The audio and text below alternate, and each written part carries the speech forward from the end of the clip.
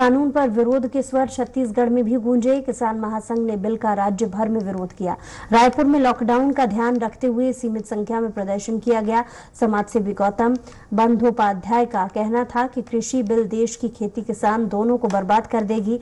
ये केवल उन पर हमला नहीं है, बल्कि खाद्य सुरक्षा पर भी हमला है। वही कृषि वैज्ञानिक संकेत ठाकुर ने कहा है कि इतिहास में ऐसा पहली बार होगा जब कॉन्ट्रैक्ट फ़ार्मिंग को औपचारिक स्वरूप दिया जा रहा है। इस बिल के माध्यम से जमाखोरी को औपचारिक मान्यता दी जा रही है। पूरे देश में ये जो नए विधेयक आए हैं, इनके विरोध में पूरा देश एकजुट होकर किसानों के साथ खड़ा हुआ है।